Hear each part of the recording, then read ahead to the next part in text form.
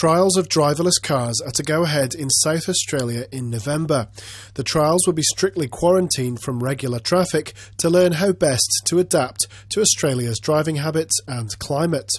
Google have been leading the research into this new technology in the United States. The terrible tragedy of America is 30,000 people die on the highways every year.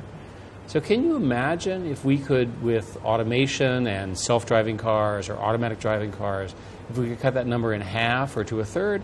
That's a serious improvement in quality of life. Driverless cars have been tested on Californian roads for a number of years. Recently, someone was injured in a collision. Google cars have been the victims of 14 small accidents since they initially deployed in 2009. 11 of them have been rear enders, the most recent of which being the one that took place on July 1st. According to the data, the car was struck from behind by a human driver going 17 miles per hour. According to Google, this was down to human error, justifying their belief that computers are better drivers than people.